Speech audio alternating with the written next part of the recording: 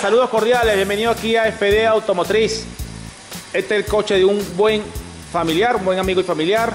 Recuerden que no trabajo estos vehículos al público en general, solamente la marca Chrysler Jeep y Dodge, como aquellos que está allá.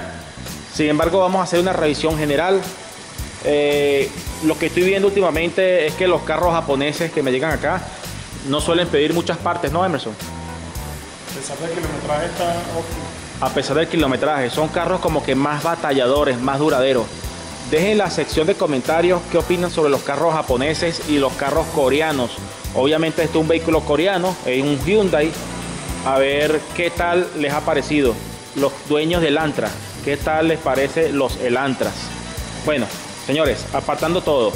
Este vehículo viene por una revisión general y el cliente reclama de que gasta mucha gasolina. ¿Cómo yo podría ver con el escáner Emerson si en verdad está gastando mucha o poca gasolina? Bueno, viendo los parámetros en vivo, se buscan las emisiones de, mezcla de combustible para ver si estamos en... Ok, podemos buscar los ajustes a largo y corto plazo. Y podemos ver también el- el- la fluctuación del sensor de oxígeno. ¿Nos serviría de algo? Importante también eso. Importante, perfecto. Yo en este vehículo, sinceramente yo no le siento falla. O sea, yo me siento en el carro, lo acelero y el carro se siente perfecto. Una ligera fallita al acelerar, pero creo que es mantenimiento. Sin embargo, yo quise entrar con el escáner eh, Genesis, no me quiso encender hoy. quise entrar con el escáner de Zodiac, pero yo no logré setear el año, porque dicen los papeles que es año 2010, pero este carro es como 2005, 2004. Esto es un motor 1.6 Dodge. Entonces no logré ingresar. Si alguno que tenga de Zodiac y haya escaneado estos vehículos, me dice por dónde se le entra. Sin embargo, vamos a hacer algo. Tenemos aquí este escáner de los amigos de Injetronic, ¿ok? el CJ250. Señores, para ver parámetros de chispa, de emisiones, simplemente yo puedo entrar perfectamente por OBD2. Entonces lo que vamos a hacer aquí es simplemente vamos a entrar por OBD2. Vamos a ver si hay códigos.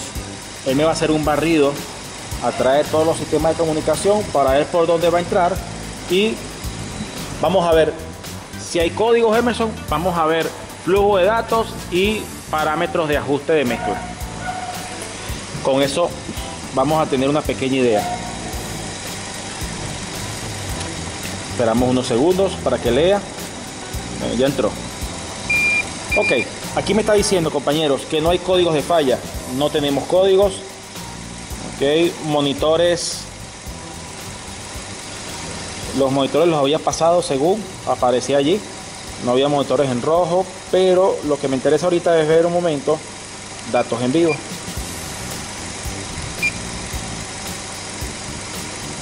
Yo quiero ver los ajustes a corto plazo y a largo plazo. Los ajustes a corto plazo y largo plazo es la estrategia que usa la computadora para controlar el ancho de pulso del inyector y garantizar una mezcla estequio- estequiométrica. Desde menos 10 a más 10 es un rango aceptable. Lo ideal es que esté lo más posible a cero. Vamos a buscar acá simplemente el sistema de combustible está en lazo cerrado, close. Eso me da una buena. Vamos bien. Está cerrado significa que la computadora está monitoreando el trabajo del sensor de oxígeno. Excelente. Vean, ajuste de, ajuste de corto y largo plazo. Vean. 0.8, 0, 2.8. Dale un par de acelerones, Emerson, por favor. Este vehículo tiene cuerpo de aceleración mecánico, no es eléctrico. Ok, suéltalo. Estamos bien, compañeros. Estamos muy cercanos a cero. Entonces, yo le podría decir al señor que en teoría este carro no debería gastar gasolina. Pero una cosa es en mínimo, en ralenti. Otra cosa es cuando tú aceleras el vehículo. Entonces, por experiencia, Emerson, ¿qué vamos a revisar en el, en el vehículo? ¿Qué vamos a revisar? Bueno, lo, lo básico, bujía, cables, cuerpo de aceleración, Exactamente. aire del motor. Eso, a veces no se compliquen la vida, compañeros, empiecen por lo básico. Si los ajustes de combustible están cercanos a cero, ok, puede ser que este carro gaste gasolina, es cuando le generas carga, es decir, se podría perder chispa, ¿cierto? Correcto. Cosa que yo no lo veo mínimo. Entonces lo que vamos a hacer simplemente, compañeros, se siente excelente, les soy honesto. Voy a apagar este carro y vamos a sacar las bujías para revisarla. Ah, perdón, antes de eso, ven aquí el trabajo del sensor de oxígeno. El mapa está bien, las RPM. Ok, vamos acá.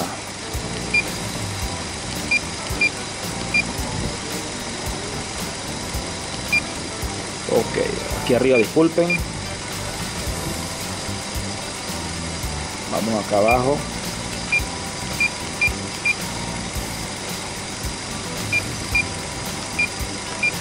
Aquí está. Este es el sensor que va antes del catalizador. Vean que está ciclando de manera perfecta, compañeros. Yo no sé si este sensor, si este carro trae un sensor después del catalizador, tengo que ver. Pero vean el ciclado. Emerson, ¿cómo es esto? Correcto. Eh, mejor imposible. Está ciclando de manera perfecta, compañeros. Creo que este vehículo tiene problemas de inyección, tiene problemas a lo mejor de chispa. Sin embargo, le vamos a hacer un lavado de inyectores, ahorita me preventivo. Pero vamos a ver si hay problemas con chispa. Vamos a apagar el vehículo, por favor, Emerson. Hazme la segunda. Y lo que vamos a hacer, vamos a sacar acá y vamos a verificar las bujías. Por favor, eh, voy a esperar unos 20 minutos para que medio enfríe y poder sacar las bujías. Así que voy a hacer una pausa. Ok compañeros, básicamente pasó como 40 minutos. Estamos también con otros vehículos.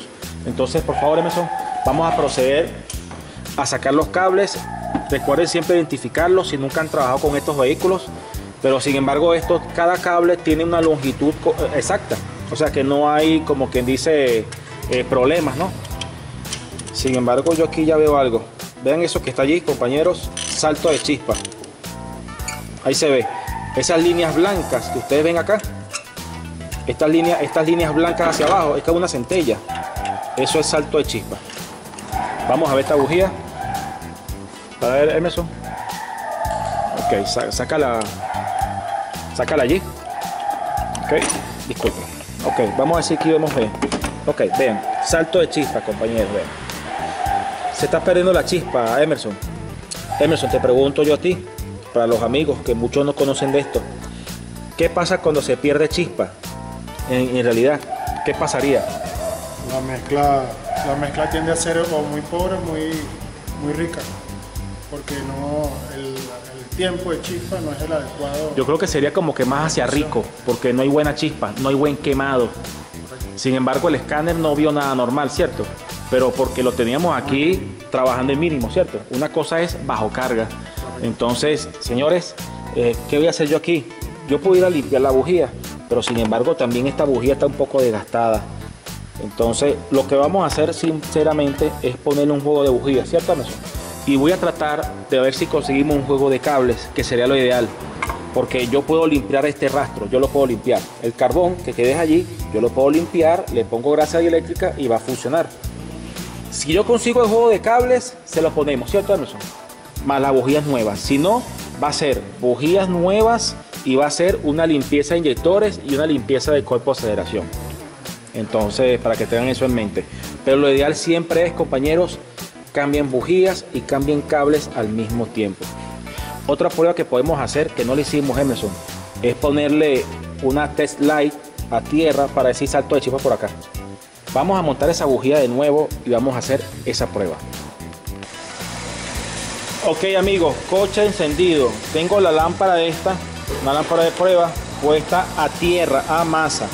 Entonces, cualquier chispa que esté volando va a querer agarrar masa. Entonces simplemente ustedes la pasan por los cables, ¿cierto?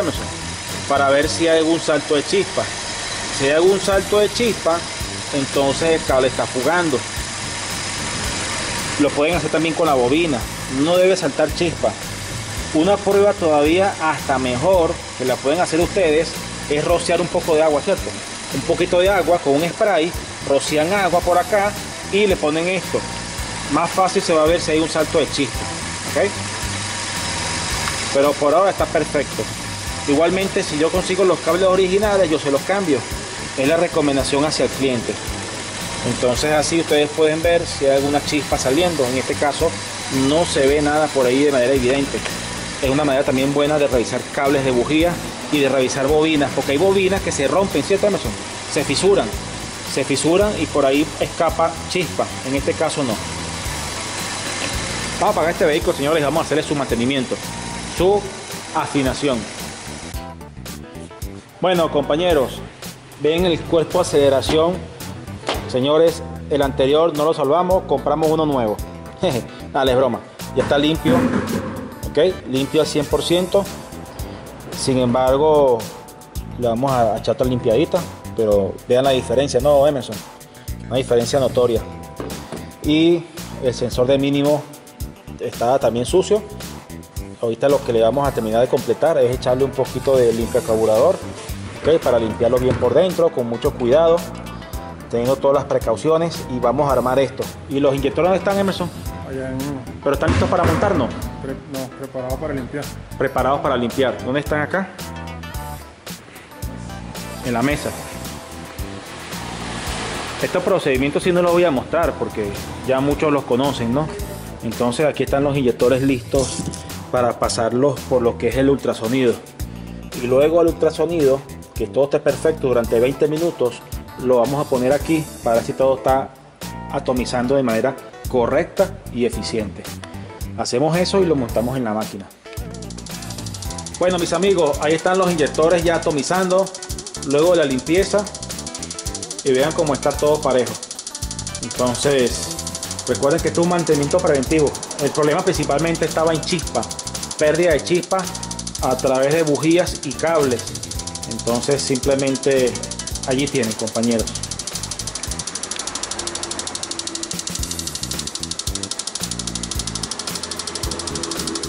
Vamos a armar los inyectores, vamos para el carro, montamos todo y vamos a limpiar los cables y seguimos. Bueno compañeros, ya se montaron las bujías, ya se limpió con aceleración, ya se montaron los inyectores en su lugar. Se nos olvidó filmar la parte en que le echamos grasa dieléctrica a los chefones. Muéstranos ahí, amigo Emerson. Ven allí. Está impregnado con grasa dieléctrica. Pero sin embargo le vamos a echar más para que tengan una idea. ¿Cómo se echa la grasa dieléctrica? Échale ahí, estimado. Sin miedo. Algo así, listo. Algo así ustedes lo ponen, ¿ok? Y lo untan, lo meten aquí en el orificio. ¿Para qué la grasa dieléctrica? Ella lo que hace es que impide que entre humedad entre el capuchón y la bujía. Entonces, para que no haya salto de chispa, simplemente ponemos así y listo. Se hace con cada bujía, con cada cable, perdón. Y estos cables previamente Emerson los limpió, les quitó el carbón que estaba dentro. Entonces, mientras tanto, como les dije a ustedes, vamos a dejar los cables y cuando se encuentren se montan nuevos. El filtro de aire ya viene en camino, hay que montarlo nuevo, recuerden eso.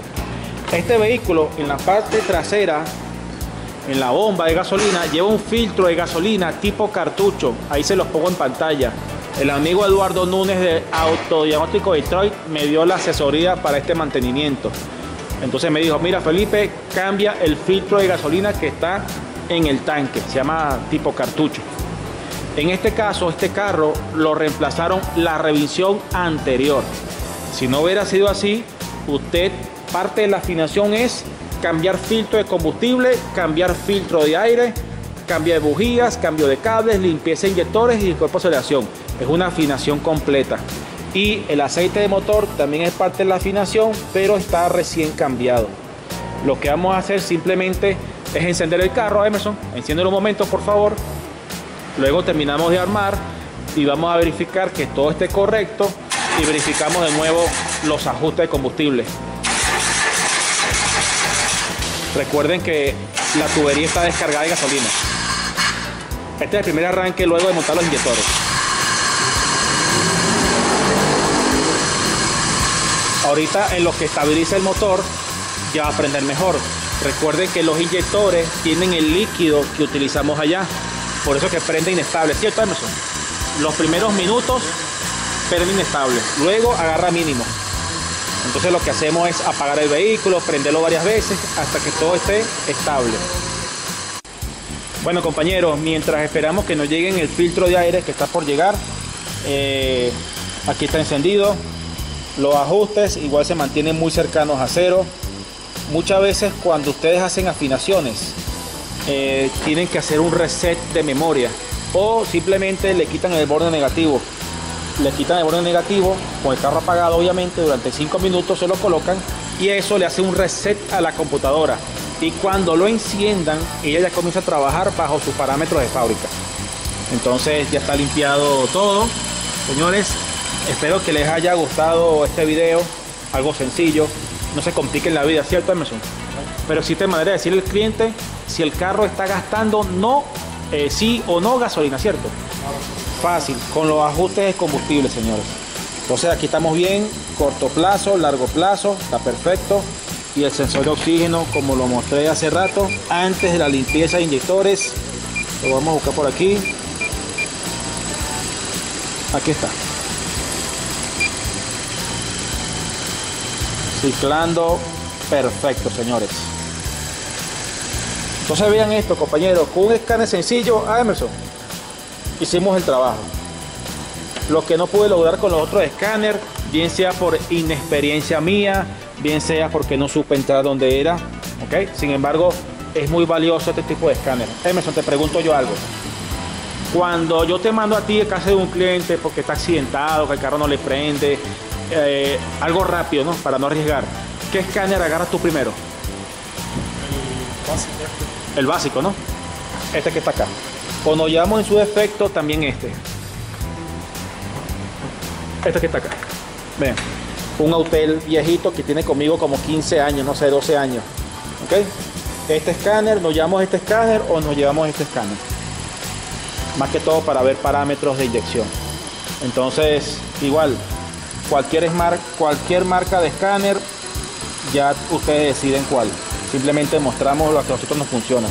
Yo tengo aquí en este caso un equipo Inyectronic CJ250, me parece excelente. Y también tengo el Autel Maxidiac 703. Lo que pasa es que este escáner ya no lo sacan, ya está descontinuado. El que está vigente es este. Yo uso los dos básicamente. La ventaja de que la ventaja de este es que esta es pantalla color. En cambio este escáner es monocromático. Nada, compañeros, espero que el mantenimiento les haya gustado, señores. Nada. Ya quedó al 100%, le puedo dar plena garantía al cliente de que no le va a consumir combustible y todo correcto. Despídase ahí, amigo Emerson. Chao. Saludos, gracias por apoyarnos. Listo. Y allá está Kleiber dándole asesoría a un cliente. Nada, compañeros. Dios los bendiga. Hasta pronto.